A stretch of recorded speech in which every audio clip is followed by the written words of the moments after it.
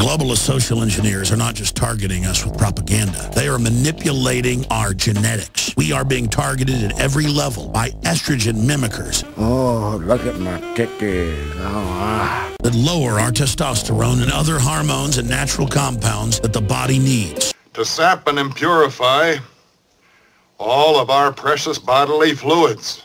After consulting top doctors, nutritionists, pharmacists, and others, we have developed what I believe is the ultimate non-GMO organic super male vitality formula sourced from powerful organic herbs This stuff will make you a goddamn sexual tyrannosaurus. and then concentrated for maximum potency.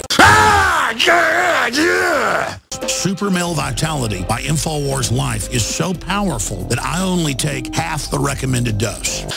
How's a 30-year death from gut disease sound? I'm going to shoot you up with something that's going to kill you dead in the hammer. You people are cancer!